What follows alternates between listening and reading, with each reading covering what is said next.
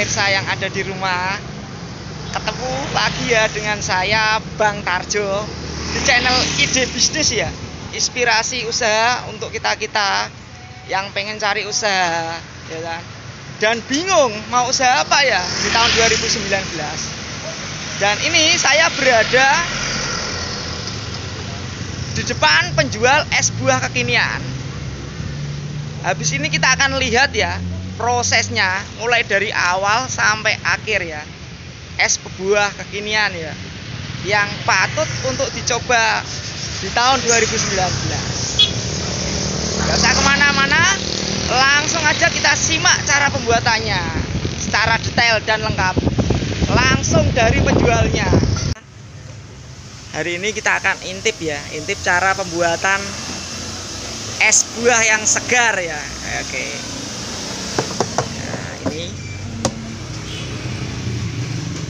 sirsat ya ini sirsat. Mochaccino cincau es sirsat es campur dan es kuwut ya. Harganya murah 3000 rupiah ini buahnya buah asli ya. Nah, ya. Bisa kita amati ya. Ini kuwut eh, melon sama jeruk nipis sama selase ya mas. Es campur ya campur. Melon sama melon sama apa mas yang kuning gitu melon sama mangga. Ini dimasukin melon lagi ya kan? Jadi ini buahnya buah asli buah asli. Apa mas ini mas susu putihnya mas? Susu putih ya mas oke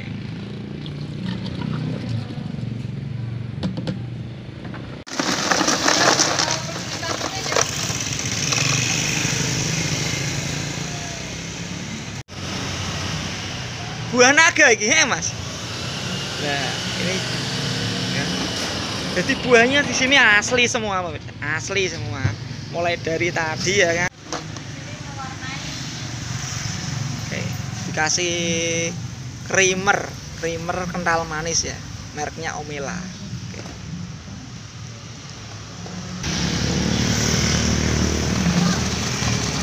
cincau sendiri ya. Cincau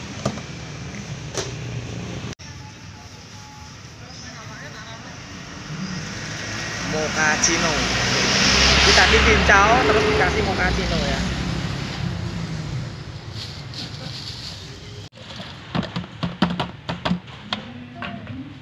Dikasih susu putih ya pemirsa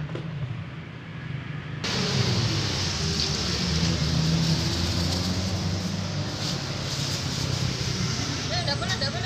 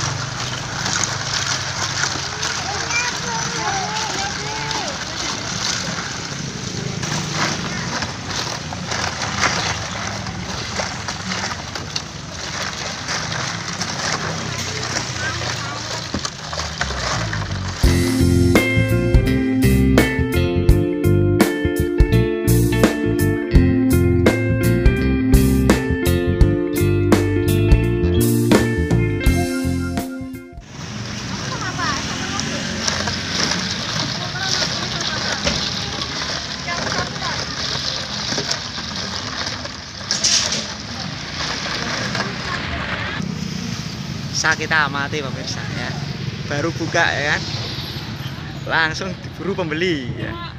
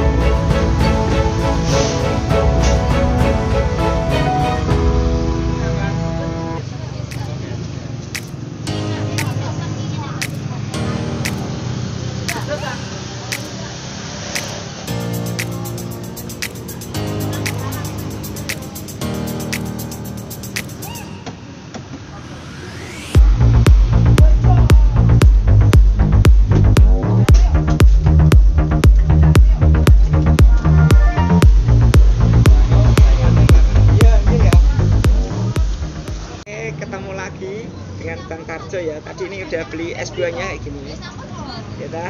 nih harganya 3000 pemirsa harganya 3000 ini saya di samping es buah sangat ramai sekali. Sebelum kita minum kita berdoa dulu supaya diberi keberkahan oleh Tuhan yang Maha Esa.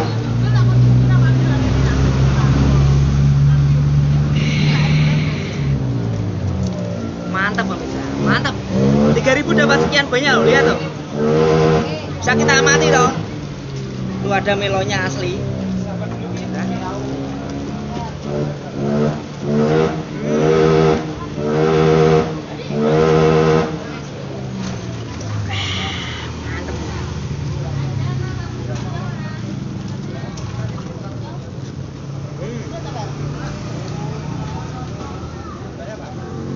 Resep udah dibagikan cara udah dibagikan.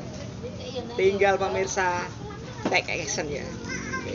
sini kita coba yang lain ya yang rasa sirsat ya.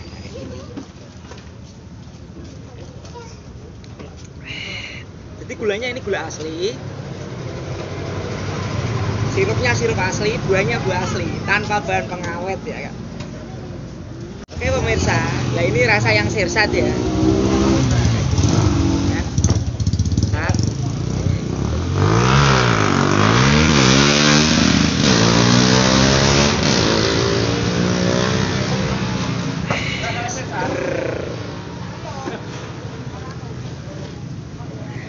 kayak gini pakai buah asli.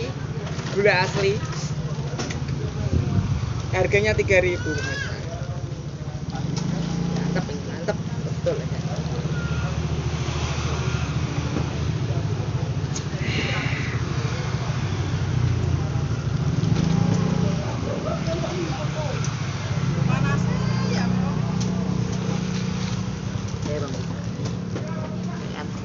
Ya kita amati toh sirsatnya asli toh ini ada bijinya